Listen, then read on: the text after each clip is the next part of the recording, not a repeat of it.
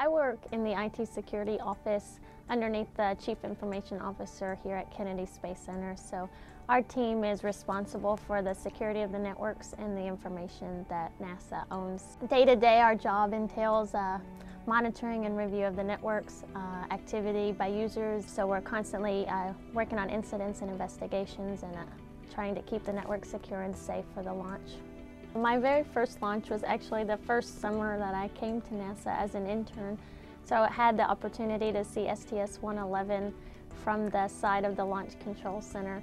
And it was an amazing experience because uh, we had a test system being run that day and some of the software I had developed was, was running on the test system. So it's kind of exciting, a milestone for, for a software developer and also your first launch experience. It's so powerful and it's so loud.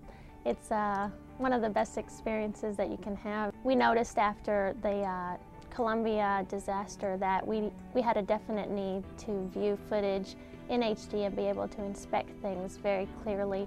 So when the shuttle lifts off, we have several HD cameras here on the ground and throughout the east, east coast of Florida that are monitoring liftoff so we can look for debris that falls off the, off the tank and could strike the vehicle. So those inspections and those HD cameras have proven to be very useful so that we can evaluate uh, damage before bringing a crew home.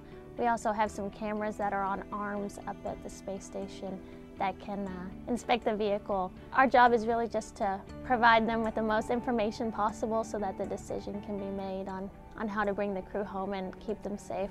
I was eight and I told my dad that I was going to work here. You know, it's always been an inspiration for me to imagine the possibilities and, and the things that NASA does. They're always on the front edge of technology and the, the first to do anything. And the first is always an exciting point in exploration. My mentor and my main support throughout college and even today has been Don Leftwich. He's been such a huge part of my life and, and such a mentor to me on what life is about and how, how to be an excellent example to others.